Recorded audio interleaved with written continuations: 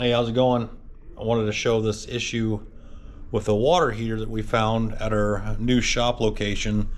So we bought this building in um, well, last year, I think June. I think we closed July 1st of 2023. So we've been in here probably about nine months, going on 10 months. Uh, we remodeled it most of last year and moved in right around Christmas, January time frame. So this water heater in this building is an old state water heater. Um, I couldn't find the exact year on it, but like the ANSI sticker or the energy guide sticker here is December of 83 and the ANSI date on there on the uh, label is 1985 so we know the building was built in 1986 or finalized in 1986 so it's obviously the original water heater and when we bought the building it worked fine and we're like you know what this thing's probably built 10 times better than any water heater you can buy today so let's just go with it and see how long we get by with it. We know it's kind of an issue, but here we go. So it was really windy a couple days ago and the pilot light went out. So I relit the pilot light and turned the burner on and the burner was not, like the gas was not going up to the burner correctly.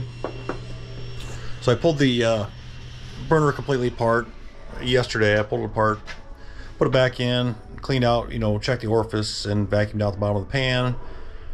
Um, cleaned off the uh, thermocouple and just made sure that everything was clean so the gas would flow. Put it back together.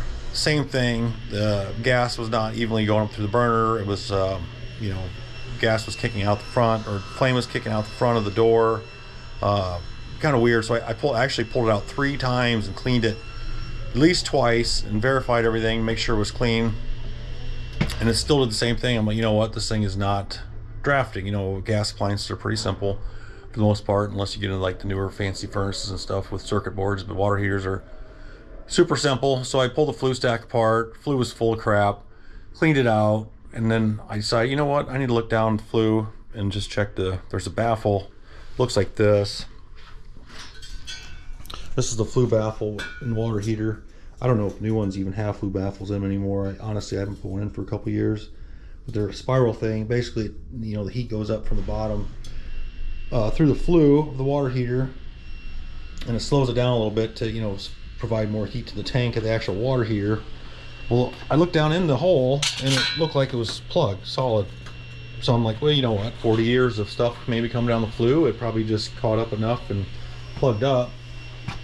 So I uh, tried to pull it out took me half an hour with a pair of vice grips and pliers and a screwdriver to get this uh, flue baffle out and actually was usually just pull right out and they sit right up here in these notches at the top below the flue damper or the uh, draft draft hood and uh, I couldn't get it out so I finally got it out I look down in here I'm gonna show hopefully show this on video.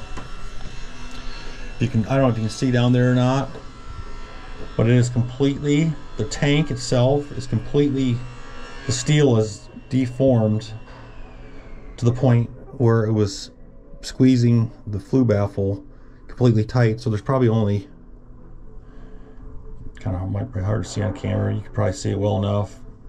There's probably only like you know a, a square inch of open space at the bottom so the steel tank itself is actually deteriorated and swollen so much and has not leaked that it will not uh, provide uh, a draft when you turn the burner on.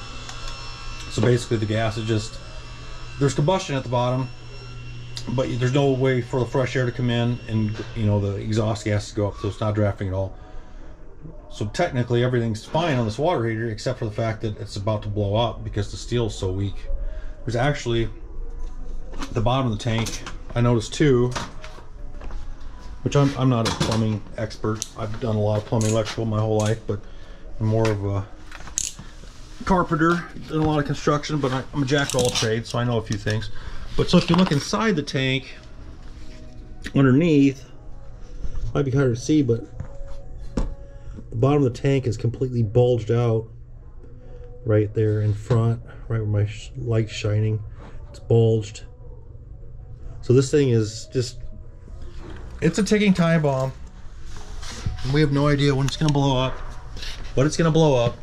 So we're gonna get rid of it. I was hoping to get another year or two out of it, but it is what it is. Water shut off. It's still got some residual. You know, when you turn faucets on, still uh, back feeds and stuff like that. But um, I got it shut off for now. We'll replace it. I just thought it was pretty interesting. I've never seen this flue, a flue in a water heater like that. I'm gonna hopefully get some comments on YouTube or Facebook or whatever and see if anybody's seen anything like that. But I thought it was pretty interesting, so I thought I'd share.